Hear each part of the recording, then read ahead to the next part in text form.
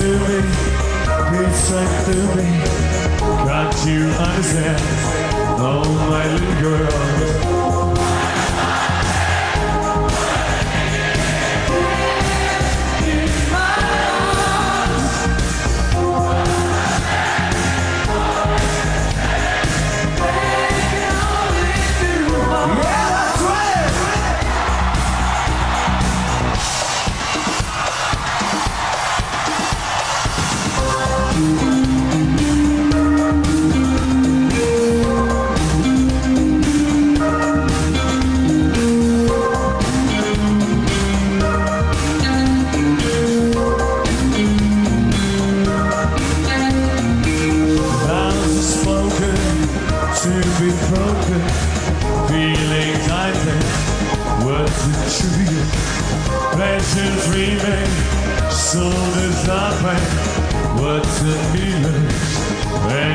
And forgettable.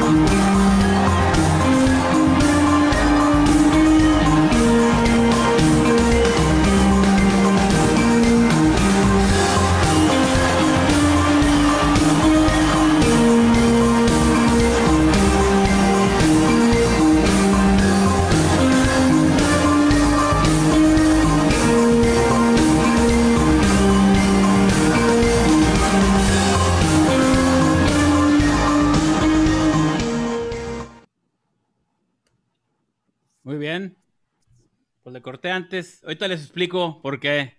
Bienvenidos. Muy buenas noches a toda la gente que está conectada con nosotros por medio de la señal de conciertos, conciertos.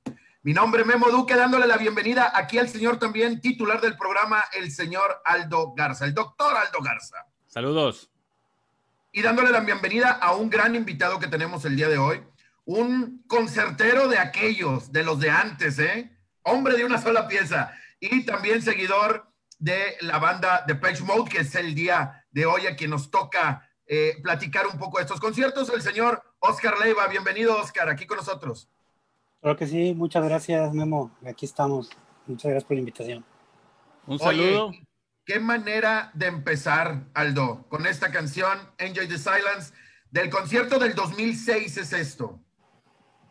Ahorita les vamos a explicar, Oscar y yo, lo de, lo de los, lo del audio. Si notaron, el audio se oye a todo dar. Ahorita Oscar nos va, nos va a explicar por qué y, ahí le ayudamos. Bienvenidos, gracias por estarnos acompañando. Saludos a los que ya se están conectando.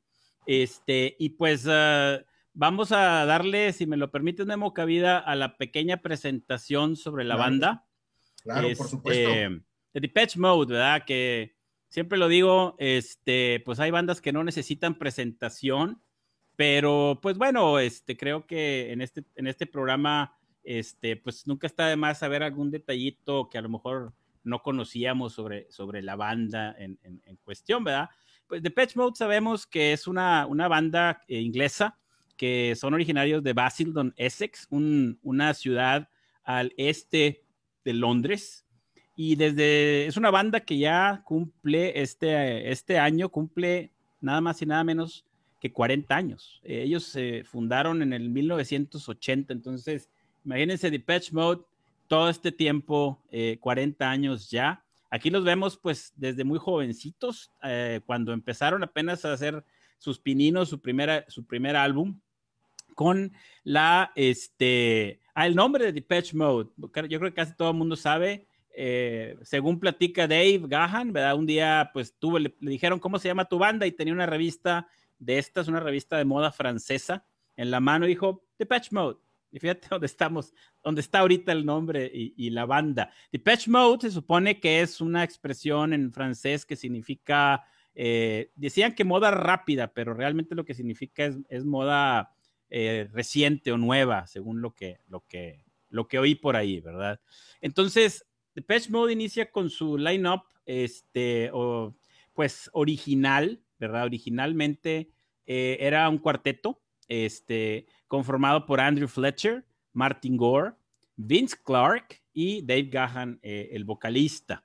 Ahora, sabemos que el primer, el primer disco de Speak and Spell del año de 1981, pues fue un éxito comercial importante, principalmente a nivel de Inglaterra y sobre todo más a nivel regional. Este, y por alguna razón extraña, nunca se ha sabido muy bien el por qué, pero Vince Clark sale este eh, cuando estaban haciendo el tour para este disco, decide por intereses personales salir de la banda. Y la cosa es que él era el creador de la música, él era el que escribía la música, el que componía las letras. Y la prueba está en que inmediatamente después de salir pues forma junto con Alison Moyard eh, una banda que se llamó Yas o Yazoo originalmente, cual tuvo grandes éxitos en los, en los 80s.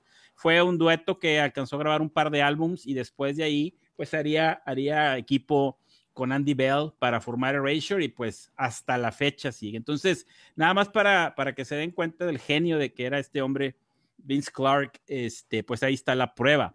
Y cuando sale del grupo, pues realmente la banda dice, ahora qué hacemos, pero o sea, este, pues él era nuestro escritor, escribía la música y, Martin Gore es, Martin L. Gore es el que toma la batuta y pues contra todos los pronósticos, este, pues se empieza a escribir, empieza a componer música y canciones y letras, liberan un álbum llamado Broken Frame que empieza a elevar el estatus de la banda en Inglaterra. Todavía en Estados Unidos no se conocía mucho. Esta es una de esas bandas que, pegó más en Inglaterra inicial, inicialmente. Y a partir de entonces, pues vean lo, prolífero de la banda con álbumes pues prácticamente cada año dos durante la época de los ochentas y de los noventas, con álbumes clásicos como Music for the Masses del año 87 o Violator de 1990, para lo cual empezaron a hacer tours y ya este nivel, probablemente el álbum que los catapultó al estrellato indiscutiblemente haya sido Violator, aunque ya con Music for the Masses de Patch Mode era una banda masiva. Y en el año de 1993 eh, sacan un álbum muy diferente, que ya gestaba ese tipo de música que iban haciendo desde que empezó con Music for the Masses, pero fue una evolución de pop, muy pop prácticamente, en Black Celebration con el puro título empiezan a hablar un poquito de temas más oscuros, la música es un poquito más seria, este, y ya con Songs of Faith and Devotion, como su nombre lo dice, del año del 93, pues el Depeche Mode eh, cambia completamente su estilo ya más rock y más serio, ¿verdad? Por así decirlo. Eh, lo importante de este álbum, pues es que este es el, álbum que promueven y con el que hacen su primer visita a, Monterrey. Eh, desde que sale Vince Clark unos años después, Alan Weiler este, empieza a trabajar con la banda y no, no era reconocido como un miembro oficial este, hasta, hasta más adelante, donde ya formaría parte permanente de la banda. Y estuvo con la banda desde el 83 hasta el año de 1995 el corte de Depeche Mode cuando empiezan en los finales de los 80s, principios de los 90, era un corte un poco más limpio, aunque la música sí empezaba a ser un poco más, eh, digamos, eh, más espesa, ¿verdad? Más, un poquito más dark, quizá más alternativo. Pero incluso Martin Gore y Andrew Fletcher tienen en la, en la, en la secu donde estuvieron una placa, ¿verdad? Porque pues que se hicieron muy famosos los dos con, con Depeche Mode. Insisto, cuando sacan este disco de Songs of Fate Devotion, meten baterías, meten mucha guitarra y cambian las letras bastante radicalmente este, y cambian su imagen también, ¿verdad? Ya se empiezan a ver como algo más, como digo, más serio, ¿verdad? Eh, esto en parte también porque llega Anton Corbin, que sabemos que es un fotógrafo holandés muy famoso, fotógrafo de YouTube, de Depeche Mode, de muchas bandas muy icónicas de Inglaterra. Este, y este, a partir de entonces, la fotografía y todo lo que viene siendo la producción de los conciertos de Depeche Mode, incluso el diseño de muchos de los conciertos de Depeche Mode en la actualidad es, por este hombre de Anton Corbin. Este em, Dave Gunn se muda a Estados Unidos, agarra más el estilo de lifestyle de rock y pues bueno, todos, muchos conocemos todos los problemas que tuvo la banda en esa época. Y esto lo, menciono, a mí no me gusta hablar nada negativo de nadie en este programa y de la banda tampoco, pero lo comento porque cuando vienen a Monterrey es precisamente en esta época, ¿verdad? En donde había muchos problemas de salud, tanto, pues de, todos, ¿verdad? Y ahorita vamos a, a, platicar un poco más en detalle de eso. Pero gracias a Dios, yo creo, y a la Virgen de Guadalupe, este, pues tuvieron, digamos, la potencia, la, la fuerza, para poder venir a nuestro país y, e incluirnos en, su tour, en su tour este, promocionando este disco. Este tour que se llamó Devotional se partió en dos, la parte inicial que fue Devotional Tour y este, la segunda parte que fue la que nos tocó a nosotros le pusieron el nombre de Exotic Tour. Este, así es como se conoció esa, esa, digamos, pierna o leg o brazo, le decimos en español, y esto ocurrió en el año 1994, donde visitan Brasil, Argentina, Chile, eh, Costa Rica y el día 16 de abril del 94 nos visitan aquí a Monterrey en el célebre auditorio Fundidora. Entonces, aquí pongo, aquí dejo la, la presentación para, para empezar a hablar de lo que fue en sí este concierto. 1994 todavía Pipo salía al aire, todavía teníamos, mira qué bonito, todavía Chabelo los domingos nos animaba esas mañanas con barbacoa. Y como tú lo nombras, viene una banda en un momento muy importante de la ciudad, un momento donde ya todas las radiodifusoras pasaban este tipo de música, era el gran momento de la música alternativa en México o en Latinoamérica, especialmente en Monterrey, donde sufrimos mucho tiempo porque la radio se negaba a pasar no solo música de Depeche Mode, sino de The Cure, de, Pixies, de tantas bandas que en ese momento ya eran grandes bandas y que estábamos eh, batallando a principios de los noventas. Ya en el 94 era el gran boom, ¿no? El barrio antiguo era totalmente de, música alternativa y se anuncia la llegada de de Patch Mode a Monterrey como único concierto en México y la verdad fue el escándalo. Oscar, tú en lo particular, ¿qué pasa cuando se anuncia este concierto? ¿Dónde compras los boletos? ¿Cómo fue la experiencia de llegar a este concierto? Claro, no, fue una experiencia eh, enorme, eh, una, una, emoción mm, bastante grande que llegaran aquí a anunciar. Después de, de haber visto en el 92 a The Cure y luego ahora que son grandes exponentes igual de la música alternativa, eh, después de que nos trajeran ahora a Depeche Mode, pues te da una emoción muy grande ya ver a otro de tus grupos eh, de, la, de, la, época. Eh, entonces, pues a mí me emocionó mucho. Yo, la verdad, no recuerdo dónde compré el boleto. Lo que sí recuerdo fue que lo estaba en el área de Talud. Me acuerdo mucho este, el, el área de Talud que antes tenía el auditorio Coca-Cola, un, claro. área, un área muy, muy padre para estar ahí, hacías lo que quieras, brincabas. Eh, la verdad sí lo disfruté mucho. En, lo que en quieras, ese es lo que quieras, digámoslo sí. con toda la palabra. Lo que quieras. Un área sí, muy recordada y de mucha nostalgia para todos, ¿no? Claro que sí, estar ahí disfrutando de Depeche Mode en el talud de Coca-Cola era otro, no, una experiencia muy, muy, muy buena. Y este, pues bueno, eh, de ahí eh, me, yo lo que recuerdo ver son las imágenes, ¿no? De lejos, que ves lo que también Depeche Mode se ha caracterizado por traer sus eh, imágenes eh, para ambientar el concierto por atrás.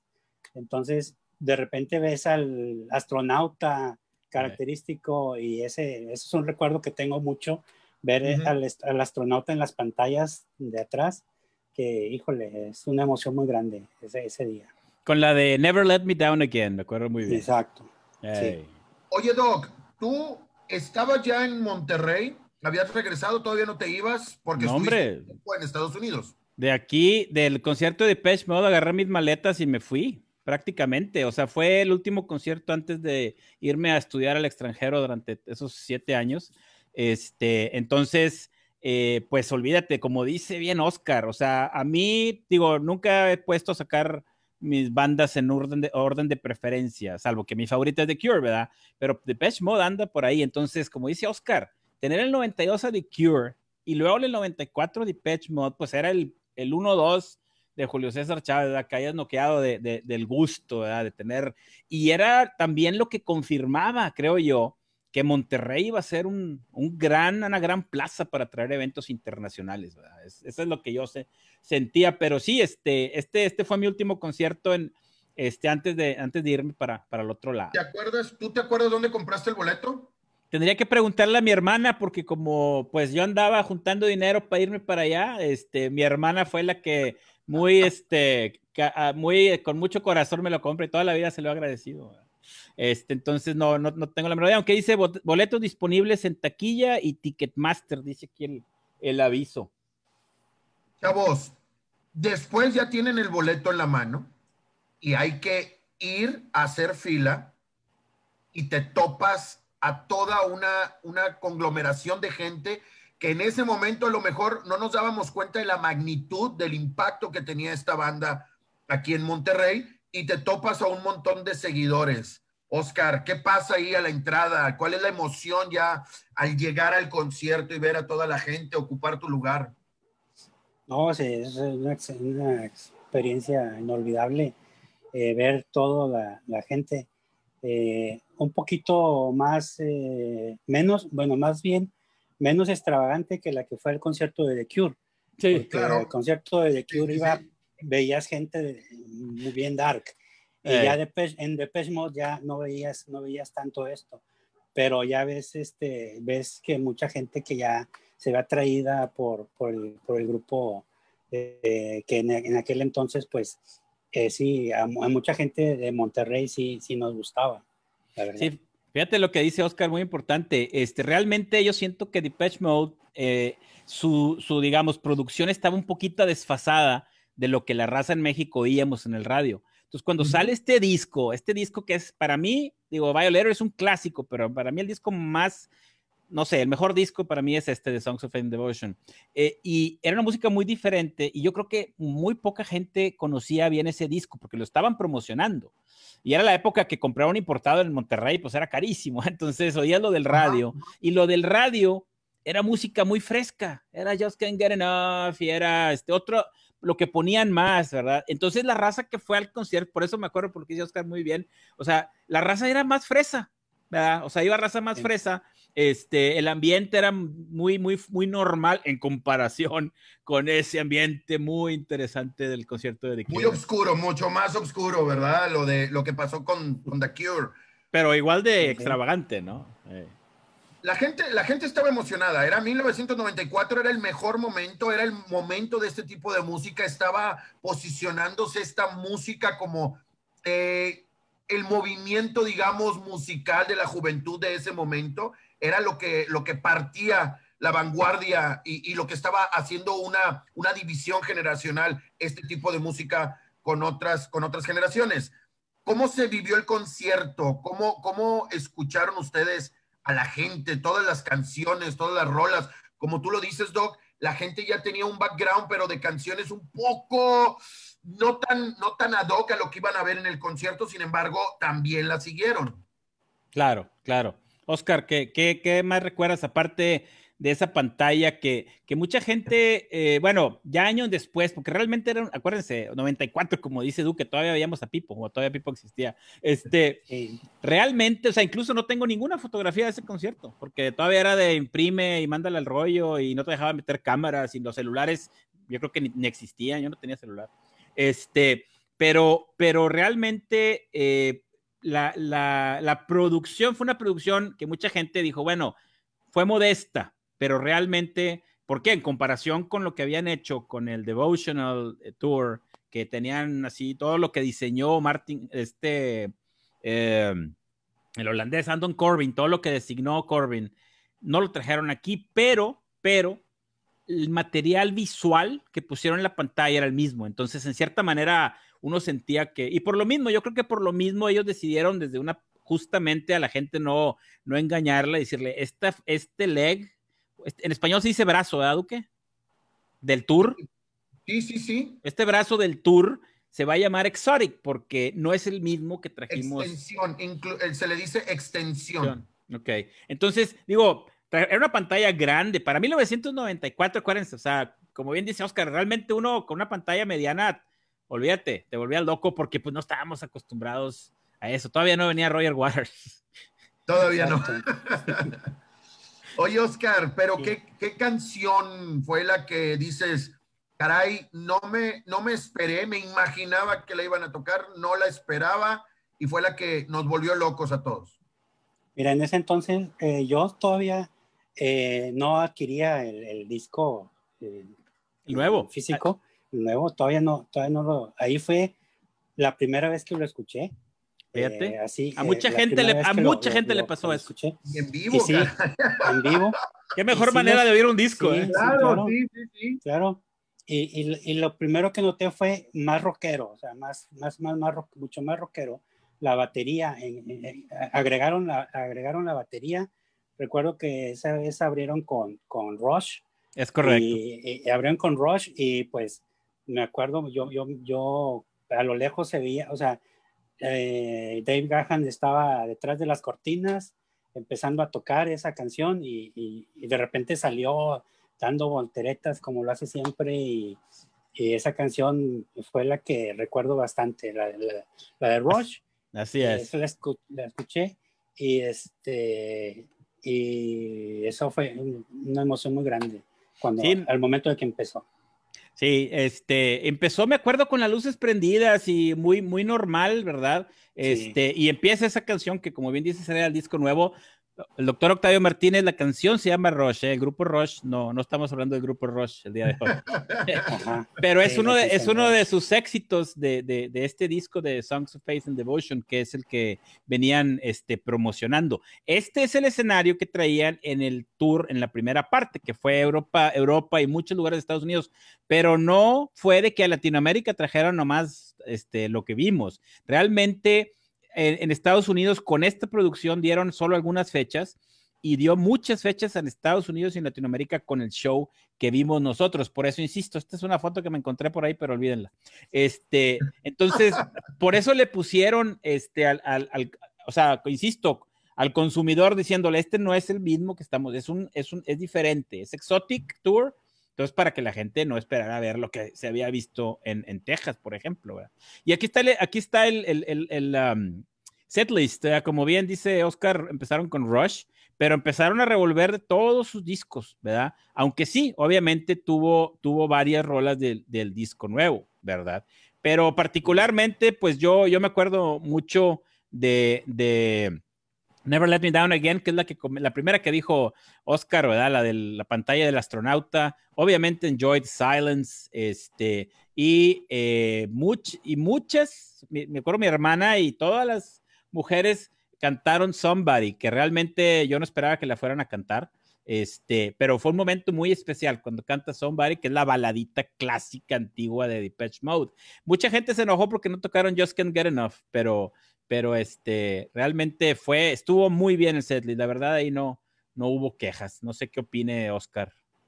Sí, no, estuvo excelente. Otra canción que también recuerdo mucho fue la de la de Strip, es, eh, la de strip es, es algo, es, es una que, que, en aquel entonces no, no era muy, muy tocada. Es correcto. Eh, entonces yo la escuché y wow, están tocando strip. No y, y el, el, la, la, pantalla, ¿te acuerdas? El video en la pantalla, genial. Sí, o sea, sí. este, este hombre, Anton Corbin, los que no lo conocen, les recomiendo. Es un artista, un fotógrafo, director de, de películas este, Uh, independientes, buenísimo. Todo lo, digo, todo lo que, las fotos clásicas de YouTube, la portada de Joshua Tree, por ejemplo, la tomó él.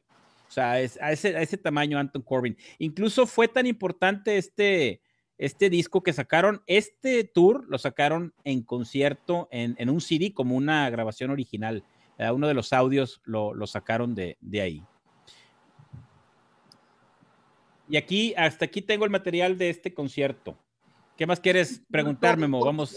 Que queda, que queda sensacional. Yo creo que eh, otra vez hace falta volverlo a mencionar, como dice Oscar, es el concierto que, que ya viene a demostrar, como tú también lo dices, Doc, que Monterrey es una ciudad donde se, se podía realizar estos conciertos y que tenía la capacidad de, de, de hacer estos conciertos y sobre todo que tenía el apoyo de la gente para poder llenar un lugar como el Auditorio Fundado, Fundidora, Auditorio Coca-Cola más bien conocido después por el patrocinador. Empezó Fundidora, ¿verdad? Esa, este boleto decía Auditorio Fundidora.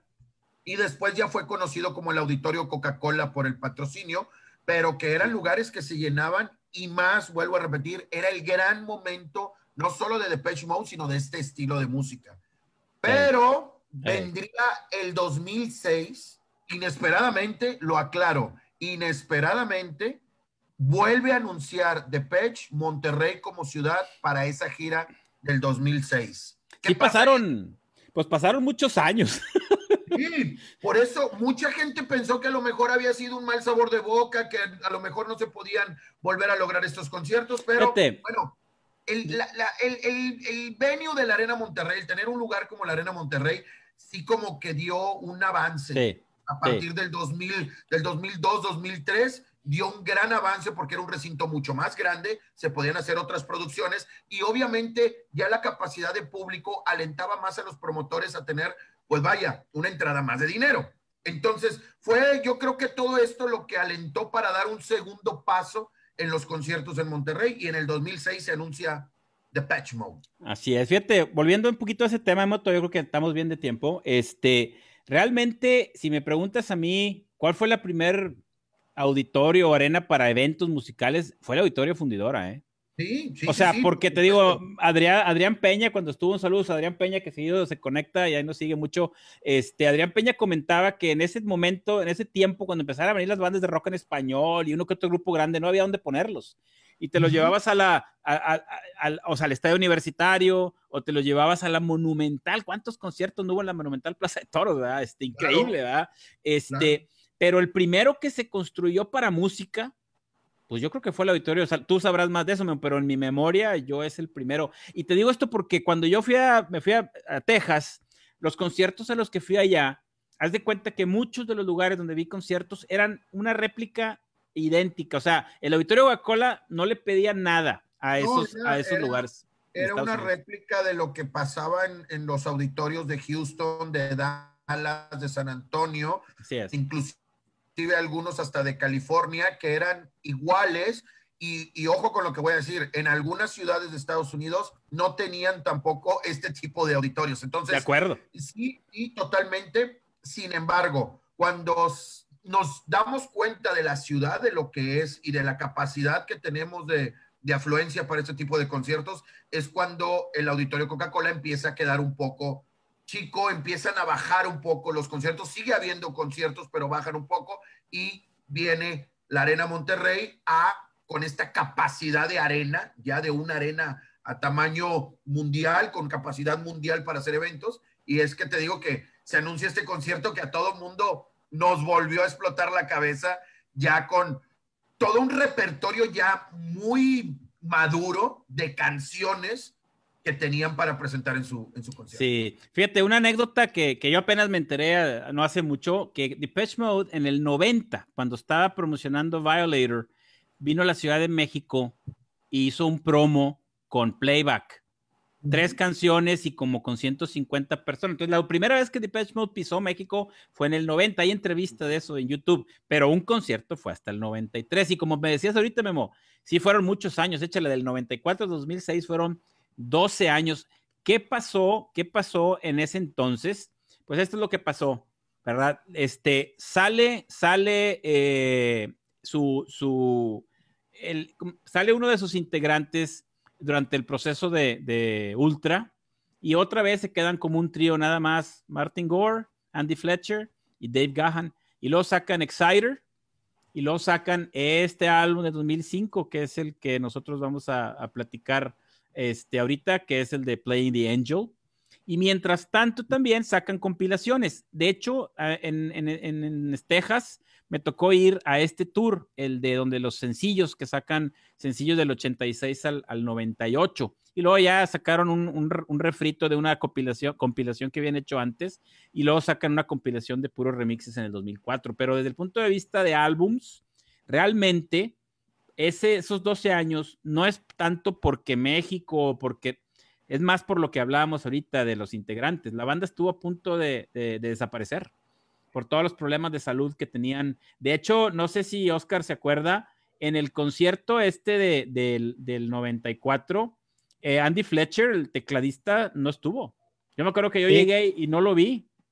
Este, sí, Por, por, cuestiones de salud, tocaron sin Andy Fletcher. Entonces, este, realmente la razón, y aquí está del 93, que fue Songs of Faith and Devotion, se, repara un poquito la dinámica y la salud de los integrantes y en el 97 sacan Ultra, pero todavía había muchas fuerzas ahí negativas, incluyendo la salida de uno de los integrantes y hasta el 2001 sacan Exciter y al 2005 sacan este álbum, que es el que vienen a, promocionar ahí. Entonces ese, ese gap, este es el, un póster que todavía tengo de recuerdo de, de ese tour, este, entonces, en el 2005 que sacan tour, eh, Playing the Angel, es cuando anuncian un tour y nos dio mucho gusto ver esto. Creo que lo tiene ahí atrás también en su imagen, Oscar, que decía México, ¿verdad? Cuando se vienen a México y pues bueno, esa es otra historia que también vamos a, a platicar el día de hoy.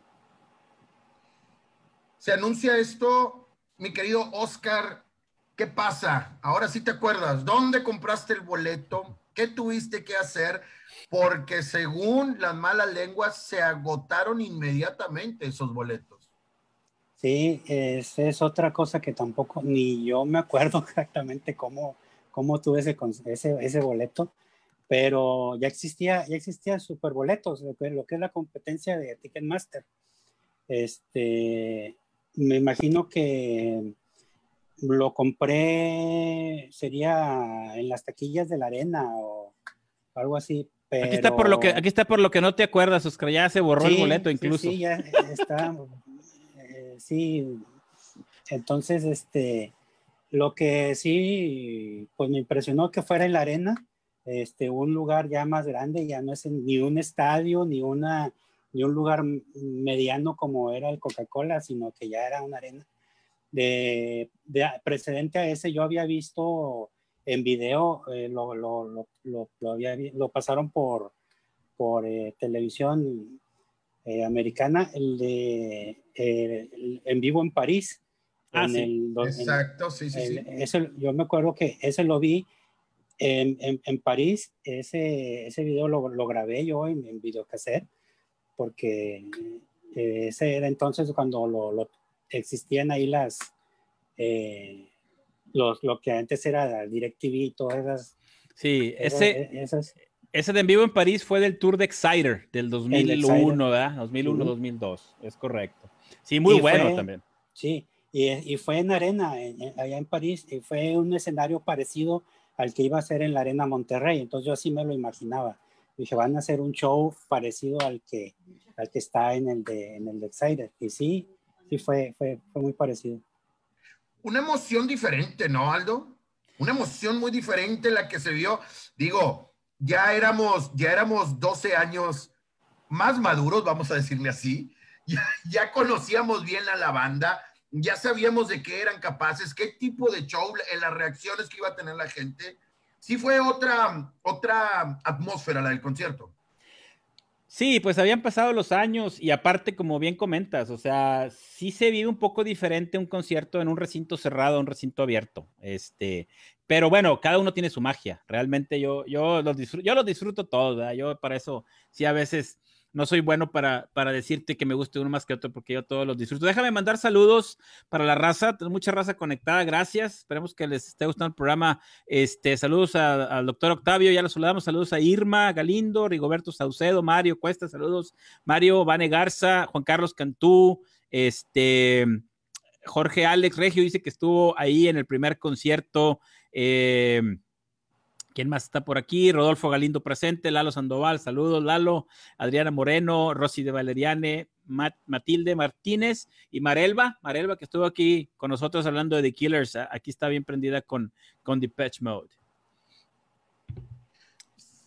¿Qué pasa en este concierto que nos deja muy, muy este, estigmatizado ya el, el sonido de la banda, sobre todo aquí en, en Monterrey, que siempre lo he dicho, Aquí en Monterrey vivimos los conciertos de una manera diferente, a lo mejor con un sentimiento eh, de nosotros, pero definitivamente sí, no es la misma experiencia de un concierto en Monterrey, no es la misma experiencia que en vivirla en otros lugares. ¿Qué nos deja este concierto, Oscar? Este concierto nos deja eh, escuchar, bueno, más versiones de, de Depeche Mode. En este caso, ellos tocaron ahí este, muchos muchos éxitos. Este, en, ese, en ese entonces sí tocaron Personal Jesus, la que la, la, la gente la, no la había escuchado en el concierto anterior. Este, y eh, lo que también me llamó mucho la atención fue una arena cuando empezaron ya a, tocar al final Never Let Me Down Again, la gente alzando los brazos hacia arriba, todos al mismo tiempo. Este, eso me, lo Clásico. recuerdo muy bien. Y este, se, se vio, lo, lo, tengo muy grabado eso. Sí. Es una imagen que ahora ya se repite en cada concierto de Depeche Mode. Ya, este, ya debe, es, es, es, es un hecho ya que, que se haga al final. Never Let Me Down Again y todos con los brazos este, alzados. Este, Ahí está, o sea, el, se, se, acuerda, se acuerdan el primero de esa y en ese segundo también, porque sí, esa sí. canción, la escenografía y la gente, el movimiento de los brazos que parecen este, maizal, o ¿cómo dicen? De trigo, campos de trigo que se están ahí este, bailando con la música a todos los brazos de la gente. No, sí, sí, una cosa impresionante. No sé, yo, otra cosa, fíjate que, que, que me gustó mucho de este concierto es que les abrió She Wants Revenge. She Wants Revenge era una banda que, pues venía pegando, apenas llevaba un disco y estaban creo que promocionando el, segundo, She Wants Revenge. Y para ser un abridor, fue un abridor de lujo realmente este grupo. Los, el grupo, por cierto, el grupo oficialmente, este se acaba de desintegrar la semana pasada como, como cosecha adrede, pero dejó buen material, sobre todo el primer disco, escúchenlo, está muy bueno, ¿verdad? Pero bueno, este es más o menos el, estas sí son fotos originales ya mías, ¿verdad? Del escenario. Este, aquí le voy a decir a Memo que nos, ¿cómo, que Memo que tiene experiencia en esto de montaje de escenarios, ¿qué nos dices de este escenario? ¿A qué te recuerda? O... Este, este escenario sí se tardó, se tardó un, híjole, creo que nos tardamos dos días en montar todo esto. Sí fue un, algo, algo, no, no quiero decir complicado, sino que el, equipo de, de, montaje, al ser ingleses, trabajaban por horas nada más. Entonces tuvieron que entrar dos días previos al concierto para poder hacer todo esto. Los muchachos no fueron a hacer un ensayo tal cual, no fueron a hacer una prueba de sonido. Sin embargo, sí, lo, eh, tanto el equipo eh, técnico como su equipo personal hicieron una, unas pruebas ahí de, de, sonido que al final del día, ya con tanto tiempo de tener la gira, ya todo salía casi, casi en automático. Pero sí, eh, me sorprendió mucho la, la, calidad y la integración que tenían todos para, para estar trabajando. Un equipo grande, un equipo muy, muy grande de gente que viajaba con ellos y que obviamente que viajaban también con todo eso que estamos viendo ahí de, de la escenografía de los teclados, que recuerdo que venían eh, eh, algunos ya prefabricados, o sea, venían ya ensamblados, y que sí estuvo muy, muy padre el convivir todo su equipo de trabajo, en su mayoría ingleses, obviamente, pero traían también gente de otros países europeos y también gente de Estados Unidos. Sí, y este, haciendo un énfasis ahorita en lo de las producciones, el, este, toda esta producción, todo este montaje de, que veíamos aquí con, con, la cápsula esta de futurística, ¿verdad? Y el, aspecto de los teclados y todo eso, fue el mismo que dieron en todo el mundo. O sea, a este sí se trajeron toda la producción. Y, este, un conciertazo. Este fue muy emotivo, especialmente porque eh, yo quiero decir que ya el señor Dave ya era, si antes a lo mejor las chicas no lo tenían como el sex symbol, aquí ya era el sex symbol rock and rollero por excelencia de esa época de la música. Entonces, fue una vivencia aparte del que las chicas eh, estaban totalmente volcadas a lo que era el show y a todo lo que hacía el señor Dave, ¿no? Sí, no, es un frontman este hombre. Y así, si se fijan la comparación del tour anterior con este, cabello corto, ya, o sea, ya se limpió realmente, o sea, ya venía, pues ahora sí, un Depeche Mode con, con mucha vitalidad, mucha fuerza, sin problemas internos, sin problemas de salud. Una imagen más a Depeche Mode, ¿no lo crees, Oscar? Yo creo que esta, esta imagen que muestran aquí ya en este, en este tour, era lo que nos tenía acostumbrados la banda. Sí, este, sí, eso es lo que, lo que ya nos tenía acostumbrados este, ver en el, en el escenario. Eh, Dave Bajan, este, pues ya con sus característicos movimientos este, en el escenario, eh, pues Martin eh, interpretando también eh, sus canciones, siempre tiene, Depeche Mode tiene la característica de que en cada disco hay una, una canción de Martin Gore, que interpreta Martin Gore. Entonces, eh, cuando Martin Gore entra al escenario, pues se, se, sale, quitas a Dave Gahan y Martin Gore queda en el escenario y también es este es otro, otra personalidad en el escenario. La voz, todo es. Es, un, momento muy especial. Sí, es un momento muy especial cuando Martin Gore sale a cantar su canción, porque casi todas las canciones que él canta son los rolononones y son por lo general las rolas más tranquilas, más bonitas, este, más con más sentimiento. ¿verdad? De hecho, con esa canción nos vamos a, despedir. Todavía falta que nos, para que nos despidamos, pero quise poner una de Martin para que la gente vea lo que es eso. No, no, todavía queda buen rato, compadres. Todavía queda buen rato. Este, déjenme terminar. Saludos, permíteme. este, comenta Rosy que sí, que el, talud de Coca-Cola era igual que el Woodlands Pavilion de Houston. Precisamente a ese lugar es donde iba yo. Y era una copia, una copia del carbón. Este, saludos a Jorge Gracia, que lo vemos por aquí también. Em, ¿Quién más tenemos? A Jorge Alex, eh, tenemos a Víctor Calvillo, a Luis García, saludos a Luis. Eh, Connie Gómez, saludos, saludos. Connie es la hermana de Héctor Eloy, Duque. Ah, excelente. Un saludo, un saludo también para el buen Eloy. Sí, que nunca nos ve, pero bueno, no le hace. Con que Connie nos vea, con eso importa. Está grabado, quedará grabado el saludo, así que ya no hay con que no le mandamos saludos. Saludos a Cali, eh, saludos a Isela Moreno, a Rolando Chapa, a toda la raza, este, Alma Cavazos, Eli Coronado, este, Brenda Garza, no, no, mucha gente conectándonos. Ahorita seguimos mandando saludos. Muy bien, este, ¿qué más tenemos aquí?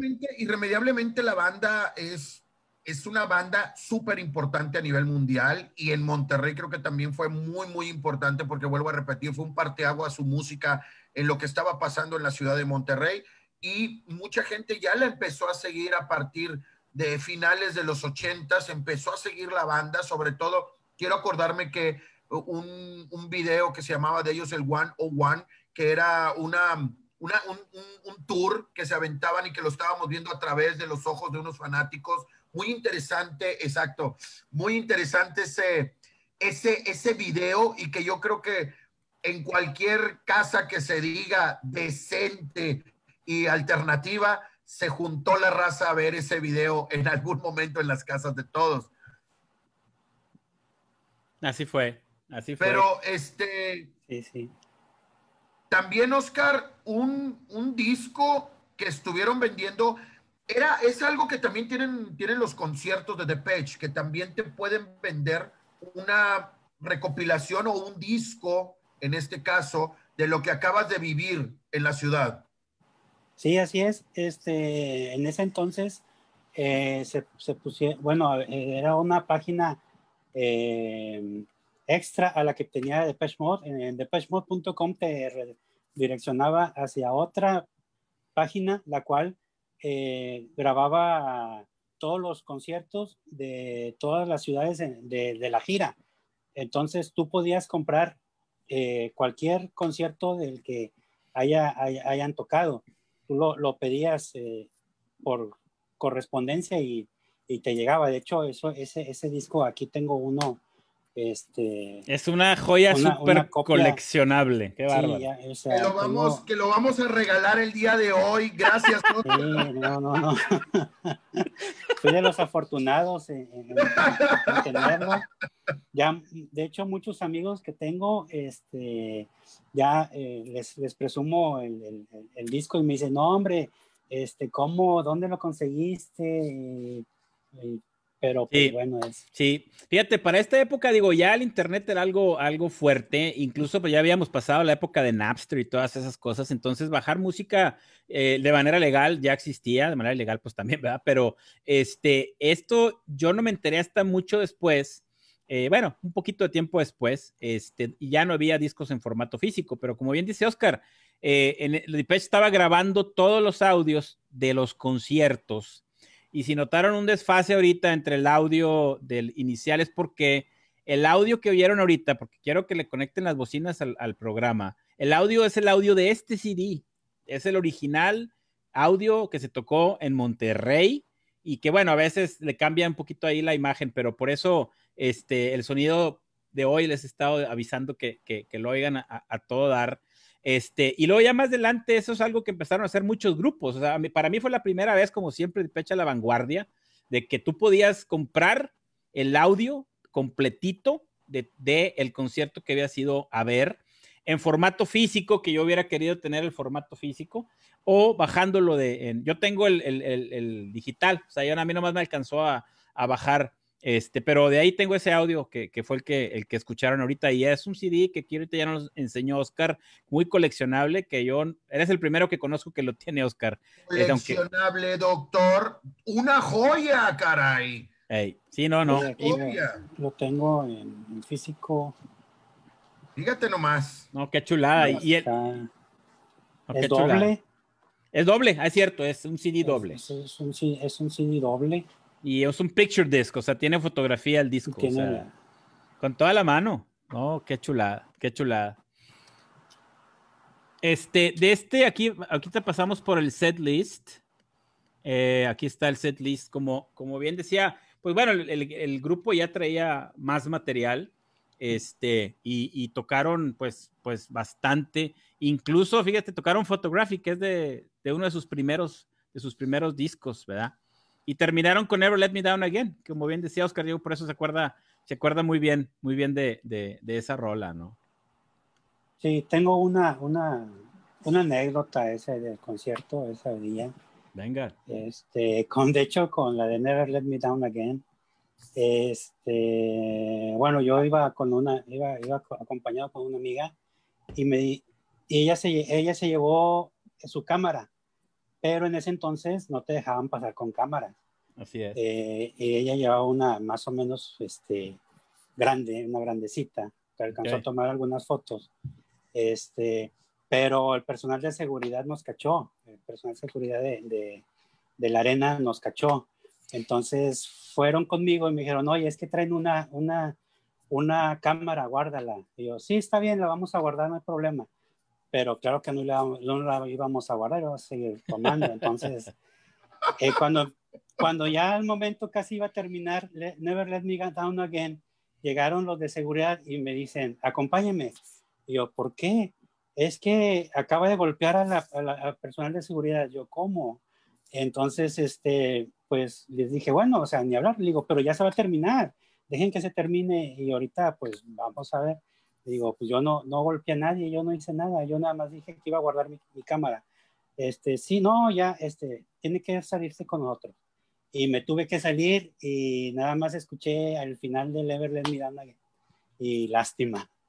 Pero ¿qué, pa- qué pasó? Pero fue por lo, por lo de la cámara. Fue por la cámara, sí, fue por la cámara. Entonces, este, se dieron cuenta que seguí yo tomando fotos. Eh, ellos me habían dicho ya que la, que la guardara, no la guardamos. Y pues Era- ni modo. Dije, era ya, otra- está bien. Era otra Sí, época, era, ¿no? Era otra época, sí. Era, era antes, ahorita ya puedes entrar con tu celular, filmar No, todo pues, lo que quieras, Claro, sí, con sí, sí, tablets y entras con todo. Exactamente. Pero Te- en te aquel voy a entonces decir, sí eran digo, muy delicados. Sí. Te voy a, voy, voy a contar esto para que trabajas. la gente sepa el porqué de esta restricción. En esos tiempos, el traer, el llevar una cámara profesional y tomar fotografías lo hacían para mu- algunas, algunas personas. No estoy diciendo que todos, pero lo hacían con el afán de hacer pósters o vender esas fotografías afuera de los conciertos. No sé si se acuerdan. Entonces, para evitar eso, por eso no te permitían tomar fotografías con, con cámaras profesionales, porque estabas de alguna manera eh, empezar a piratear o permitir que estabas pirateando ahí eh, la imagen del artista. Por eso se tomaba esa restricción, esa, esa decisión. Sin embargo, yo pienso que sí eran muy estrictos a veces. Y bueno, era fácil tener ahí una, una, este, una conciencia de quién podría Sí. hacer y quién no lo podría hacer. Sin embargo, pues el personal de seguridad pues sigue las reglas y ante eso era no para nadie. Pero era, era por esa razón. Por Sí, ¿no? Y, Sí, sí. y, bueno, ni las profesionales, o sea, ni tu, ni tu camarita Kodak te dejaban, o sea, realmente no te dejaban pasar nada, nada, o sea, este, y en ese entonces, desgraciadamente, los celulares pues tomaban fotos Todavía. para el perro. No, no, Entonces- no, no, no, muy, muy malas, muy malas. Oye, Memo, Dígame. Oscar, a lo mejor, aquí pregunta Jorge Alex Regio que si alguien se acuerda del deambulatorio, una disco que montaron al lado del auditorio para el after party. Sí, señor. ¿Qué era Sí, eso? señor. Se llamaba deambulatorio, digo, su nombre lo dice, porque era un, un lugar donde se hacían, este, ah, valga, digo, era, era un after muy conocido, ¿sí? Pero se hacía en diferentes partes de la ciudad. Ese día se hizo al lado del, del auditorio Coca-Cola y no solo pasaban música de, de Mode, sino que toda la música alternativa de ese momento. Pero claro que sí, el deambulatorio, muy, muy conocido y era, una, era un evento que se iba de boca en boca, ¿no? Ya, ya. Eh, saludos a Ileana, saludos a Ricardo Zavala, eh, SG MD Drums, este, una compañía, alguien con el, con el logo de la compañía, eh, Hilario González, eh, Ale Guerrero, César 7, mucha gente, pues es que Depeche Mode, Jaime, Jaime Mora, saludos a Jaime este, Flor, saludos a Flor. Pues es que Depeche Mode, música para las masas, ¿no? Music for the masses, como dice su, su disco, ¿no? Muy bien, muy ad hoc de, de esto. Y luego, Oscar, sales del concierto, desgraciadamente te pierdes el final, final del concierto, pero Sí. espero que haya un segundo programa porque la vida te da una revancha. que es en el 2009, ¿no? ah, claro. Así es. Sí. Claro que Pero sí. bueno, 2009. Ya veremos, ya veremos en otro programa, mi querido Oscar, porque sí hay que platicar todo esto, porque, caray, de 1994 al concierto del 2006, hay una evolución increíble, tanto de producción como la misma banda, como los mismos espectadores, ¿no? Sí, sí, completamente. Este, todo, o sea, la música evolucionó, la, la gente también, el, los conciertos a nivel este, regional, nacional, mundial, todo esto. Era cuando se empezaba, ahorita hablamos de abrir la tecnología, entonces ya era un poco más fácil tener acceso a la música, ¿verdad? o sea, venían con un disco nuevo, pero ahora a diferencia, estoy seguro que cuando Oscar oyó este concierto, ya conocía todas las canciones, porque ya era mucho más fácil de, de conseguir que en el 94. Claro, sí, sí ya, ya, era, ya era mucho más fácil. Oscar, ¿tú te quedas con el concierto del 94 por el corazón o te quedas con el concierto del 2006 por la madurez? Me quedo con el del, dos- el del 94 por el corazón. Claro. Claro. Sí, Claro, en sí, el sí. 94, sí, claro. En el 94 eh, lo disfruté bastante con la emoción de verlos en vivo, ver a Depeche Mode, verlos, este, y de hecho la, la evolución pues ya estaba, la evolución del grupo ya estaba ahí, ya, er- ya eran maduros cuando vinieron en el, en el 94, porque ya había, ya, ya, ya no, ya no traían a un Violator, ya, ya, ya eran más, más, este, ya venían más maduros con más rock. Entonces me quedo más con el de el del, noven- el del 94. El del 2006 fue como un complemento, sí. un complemento, pero el 94 me quedo mucho más con ese. Sí, el del 94 yo sí lo pongo como uno de los conciertos históricos en, en- en Monterrey, porque como comentábamos al principio y bien decía Memo, pues era una cosa de que traer una banda de ese tamaño en su momento, ¿verdad? Este, pues era una cosa genial para, para la raza que nos gusta el, el rock y, y- y los conciertos, ¿verdad? Eh, pues eh, nos despedimos, Memo. Dejamos... Dejamos- Desgraciadamente ya nos vamos y yo sí quería comentar del 2009, pero los amenazamos. Próximamente platicaremos de ese concierto que la verdad, el concierto del 2009 es otra experiencia totalmente a la del 94 y a la del 2006. Así que, y yo estoy convencido de que muchos más amigos de los que se conectan con nosotros fueron a ese concierto del, del 2009 porque sí fue totalmente ya una explosión, tanto de tecnología como de show, como de la participación de los músicos, la participación de la gente y que era una gira ya de las grandotas, ya de las que venían con 15 trailers de producción y que venían a demostrarnos, a hacernos un espectáculo de cada canción de Depeche Mode. Así es, así es. Este, en el, estamos para los próximos programas, porque ahorita todavía no tenemos el programa definido, ya tenemos varias, varios candidatos para los próximos programas, pero vamos a empezar a ver mucha variedad en, en el programa de, por sí, de la que ya tenemos, y vamos a empezar a intercalar, este, hasta ahorita estamos platicando con una bandita de las originarias de Monterrey, que las que empezaron el movimiento del rock and roll para uno de nuestros programas que, que viene, no sé si sea este domingo o el que sigue. Eh, seguimos probablemente esperándonos ahora con las novedades que hay con lo, de, con lo del COVID. Este, a lo mejor un programa médico, meterlo un domingo, ya sea el que sigue. Todavía no tenemos definidos programas, pero estamos preparando este, muy buenos programas para todos. Este, el equipo de producción está, está ampliándose.